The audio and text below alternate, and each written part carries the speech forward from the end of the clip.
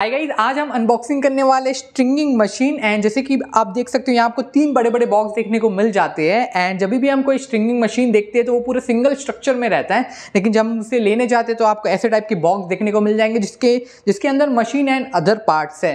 तो सबसे पहले हमें इसके मशीन एंड अदर पार्ट्स को बाहर निकालना पड़ेगा एंड उसके बाद असेंबल करना पड़ेगा। तो चलिए हम करते हैं अनबॉक्स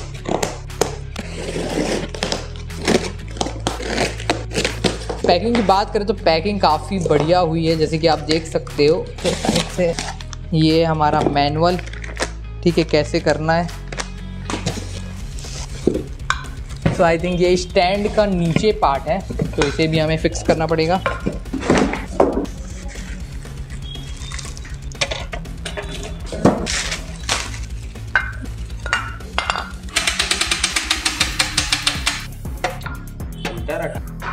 तो ये इसका नीचे वाला पार्ट है, माने स्टैंड है।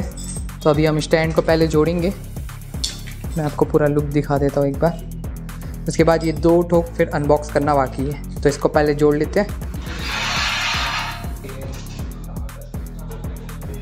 ये हिल क्यों रहा है ठीक है?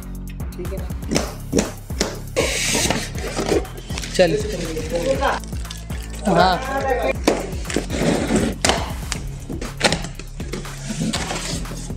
पैकिंग तो काफ़ी बढ़िया हुई है, जैसे कि आप देख सकते हैं।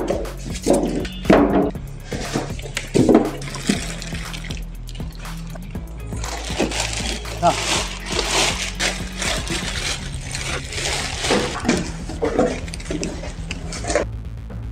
तो कहीं यहाँ थोड़ा सा दिक्कत हो रहा था, इसके ऊपर जो मशीन है, ये वाली, यहाँ फिक्स करने में थोड़ा सा प्रॉब्लम हो रहा था, लेकिन एनी यहाँ नीचे में थोड़ा सा हमने कुचका और उसके बाद फिर वहाँ ठीक हो गया, और उसके बाद इसके यहाँ लगाएँगे एंड फिर वो जो रैकेट का जो ऊपर में जहाँ टेंशन करते हैं वो वाले को इसके ऊपर लगाना है। बस बस बस बस। क्यों नहीं रहे? सही मेरे ख्याल से गया नहीं है। हम्म, अब एकदम वो होल में डालना सीधा।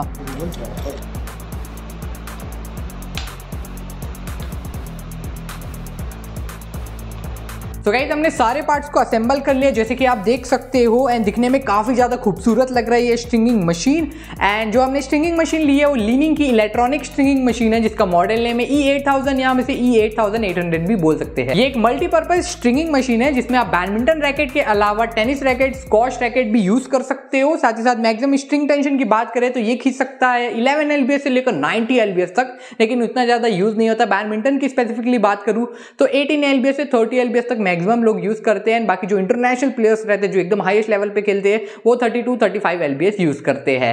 एंड मैन्युफैक्चर की बात करूँ तो ये जो मशीन बनी है ताइवान में तो मैं आपको थोड़ा सा पास से ये मशीन दिखा देता हूँ। तो जैसे कि आप देख सकते हो, नीचे में आपको चार लेग देखने को मिल जाएँगे, जिसके नीचे में रबर फीट जो कि आपके स्टेबल रखता है फिसलने से बचाता है आपके स्ट्रिंग मशीन को। एंड ये हमारा है आउटर ट्यूब देखने को, जैसे को मिल जाता है, ये स्टैंड बोलते हैं हम इसे, जिसमें लीनिंग की ब्रांडिंग हुई है। एंड उसके बाजू में आपको यहाँ को लॉकिंग नॉब देखने को मिल जाता है। एंड ये हमारा हाइट एडजस्टेबल नॉब तो जो इसका इनर ट्यूब है, वो अटैच है इसके मशीन के बेस से तो हम इसे इसको खींच के इसको ऊपर नीचे कर सकते हैं हाइट एडजस्ट कर सकते हैं अपने हिसाब से। ये हमारा स्ट्रिंगिंग रील होल्डर ठीक है? तो हम अब ऊपर आते हैं।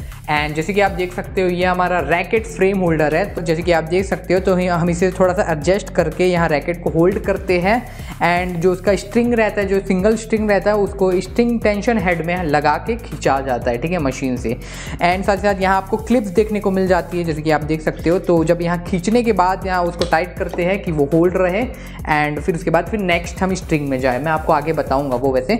एंड यहाँ आपको एलसीडी डिस्प्ले देखने को मिल जाता है, जिसके बाजू में छोटे छोटे बटन है। है सॉफ्ट बटन है एंड यहाँ मशीन की, ये एक्चुअली मेजर पार्ट है इस मशीन का। साथ ही साथ यहाँ ऑन ऑफ़ का बटन देखने को मिल जाता है, यहाँ लीनिंग की ब्रांडिंग तो यहाँ आपको दो ड्रॉर देखने को मिल जाते हैं, जिस, जो बैडमिंटन स्ट्रिंगिंग मशीन से रिलेटेड आप यहाँ इक्विपमेंट्स रख सकते हो, जैसे कि आप देख सकते हो। ठीक है एंड यहाँ भी कुछ थोड़ा टेबल टाइप का बना है तो यहाँ भी आपको सामान वगैरह रख सकते हो। तो कहीं चलिए मशीन को ऑन कर लेते हैं तो ये हमारे पास अडेप्टर तो हमें सबसे पहले इसको यहाँ डालना पड़ेगा। ठीक है एंड उसके बाद हमें ये एक और है। तो उसको यहाँ कनेक्ट करना पड़ेगा।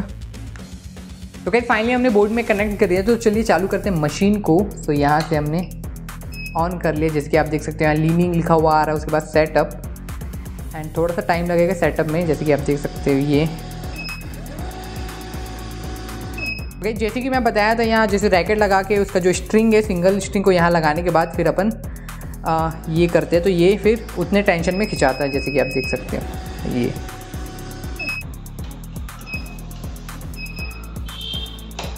तो कहीं रीज़न क्या है कि मैंने ये स्ट्रिंगिंग मशीन लिया तो इसका दो रीज़न है। सबसे पहला रीज़न ये है कि जो मैं शहर में रहता हूँ, जिसका नाम है महासमुंद, वहाँ कोई भी ऐसी इलेक्ट्रॉनिक स्ट्रिंगिंग मशीन नहीं है। तो हमें क्या होता है, जब भी मैं हमारे रैकेट का जब गट टूटता है तो हमें यहाँ से फिफ्टी सिक्सटी किलोमीटर दूर जाके वहाँ देना पड़ता है एंड फिर वो एक हफ़्ते बाद देते हैं। तो काफ़ी सारे डिफिकल्टी फेस होता है मेरे को एंड काफ़ी सारे लोगों को यहाँ जितने भी बैडमिंटन खेलते हैं। तो मैं सोचा कि यहाँ सेटअप करना बेटर रहेगा, सबके जो डिफिकल्टी फेस करते हैं, वो नहीं करना पड़ेगा। एंड दूसरा रीज़न ये है कि हम काफ़ी सारे रैकेट रिव्यू व्यू करते हैं तो मुझे लगता है कि स्ट्रिंग के बारे में टेंशन के बारे में रैकेट के बारे में और अच्छे से नॉलेज बढ़ेगा, जिससे मैं आपको एक बेटर एक्सपीरियंस प्रोवाइड कर पाऊँगा।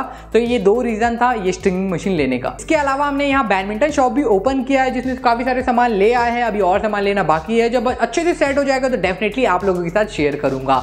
लीनिंग में आपको काफ़ी सारी मशीन देखने को मिल जाती है लाइक स्ट्रिंगिंग मशीन जिसका नाम है M six six zero M seven seven zero ये दोनों आपको मैनुअल स्ट्रिंगिंग मशीन देखने को मिल जाएगा। उसके बाद है ई सेवन थाउज़ेंड उसके बाद आता है E seven thousand five hundred pro E eight thousand जो कि हमारे पास है, और इसे हम E eight thousand eight hundred भी बोलते हैं, जो फाइनल है ई फाइव थाउज़ेंड तो अगर आपको कोई स्ट्रिंगिंग मशीन लेना है तो मैं डिस्क्रिप्शन में डिटेल दे दूँगा, आप वहाँ से जाके ले सकते हैं आई मीन वहाँ कॉन्टैक्ट करके ले सकते हैं। इस स्ट्रिंगिंग मशीन की प्राइस की बात करें तो ये हमें थ्री लाख रुपीज़ के अराउंड देखने को मिला एंड काफ़ी टाइम से मैं सोच रहा था इसको लेने में एंड अभी जाके फाइनली हम ले पाए। तो ये थी हमारी आज की वीडियो जिसमें हमने अनबॉक्स किया रिव्यू किया एक स्ट्रिंगिंग मशीन को एंड आशा करता हूँ कि ये वीडियो आपको थोड़ी सी अलग लगी होगी, थोड़ी सी अच्छी लगी होगी। तो अगर आपको वीडियो अच्छी लगी तो लाइक करें कॉमेंट करें सब्सक्राइब करें अपने दोस्तों के साथ शेयर भी करें। आपको कोई भी डाउट है बैडमिंटन से रिलेटेड तो नीचे कॉमेंट बॉक्स पे कॉमेंट करें। जहाँ आप स्प्रिंग से रिलेटेड मशीन वगैरह खुल क्यों नहीं रहा है।